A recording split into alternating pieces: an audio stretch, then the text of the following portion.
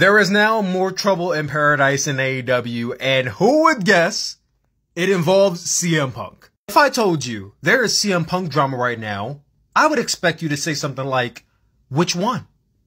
On the latest episode of AEW Collision, CM Punk caught himself saying this off the record because it's, you know, after the show there's no cameras rolling. Obviously, no one's going to be able to hear this, except for the people who you know, which is 100% of the audience, has video cameras on their cell phones that can record it, capture it, and upload it to the internet.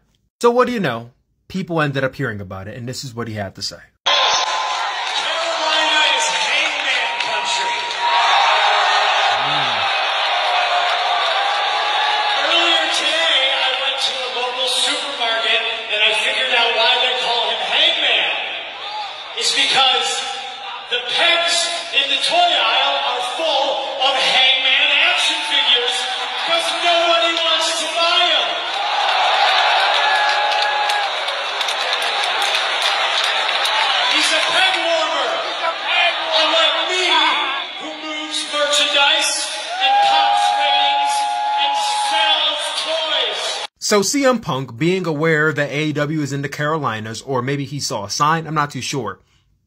Basically, for no reason whatsoever, just decided to take shots at Hangman Adam Page. And I say for no reason at all because no one provoked this. Hangman Page didn't make any comments about CM Punk that I know of lately.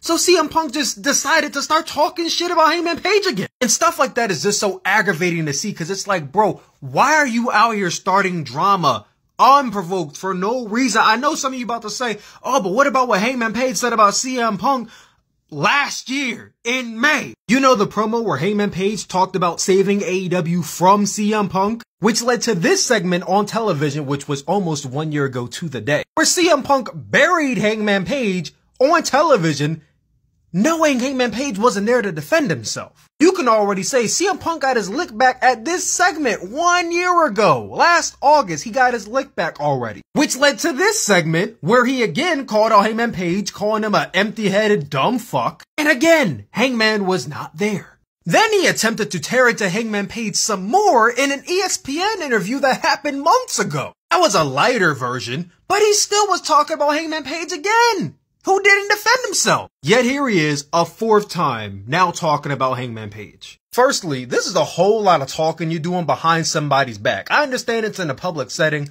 but it seems like every single time, Hangman Page is nowhere to be seen when you're saying this stuff. Like, is there going to be a face-to-face confrontation at some point? Cause I'm just saying, Hangman Page if he pulls up on CM Punk at some point, I wouldn't be surprised. Cause this is a whole lot of, a whole lot of stuff going on that Hangman Page is not responding to because he shouldn't be responding to any of it anyway because this is very, very picky stuff. Which gets into my second point. Why is CM Punk so obsessed with Hangman Page? Like, I understand he felt disrespected by Hangman Page after that segment, but it was one segment, bro. One segment. Did that really bug you that much that you feel the need to constantly bring this man up every chance you get?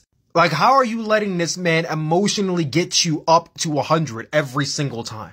And listen, Hangman Page on Instagram already said he gonna let God handle that shit, so good on him. But it's like at some point, if he gets sick of that shit and he rolls up and he just knocks the shit out of CM Punk, I'm gonna be like, well, Talk chicken head. I don't know what you expect. Mind y'all, CM Punk is my all-time favorite wrestler, bro. But oh my god, is it tough being a CM Punk fan these days. There's also reports that CM Punk is getting people backstage kicked out of the locker room or basically booted from TV tapings of AEW Collision. Because AEW Collision was practically made for CM Punk to keep him separate from the people on the roster who do not want to work with him.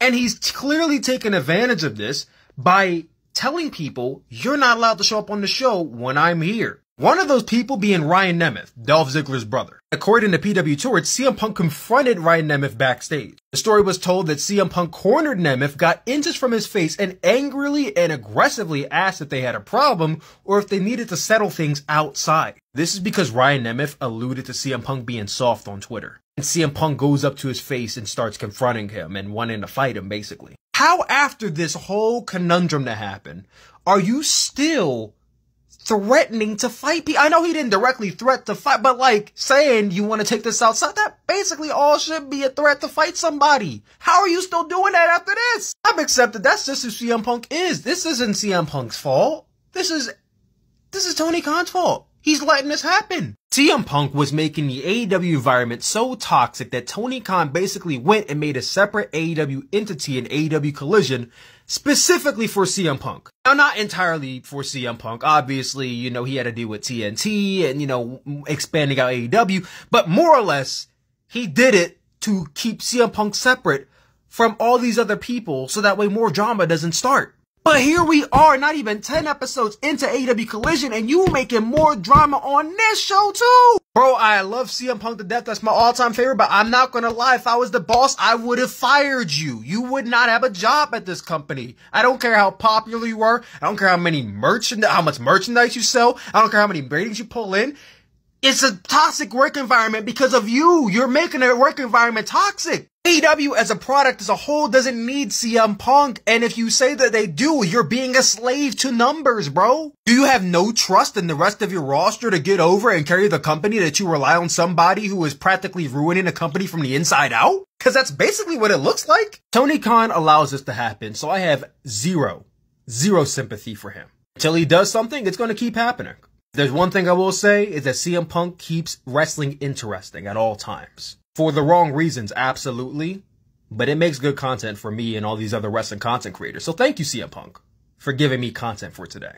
And probably next week when more news and drama interrupts. What do you guys think about this whole CM Punk drama combo? Now below? Let me know. Let's get a discussion started.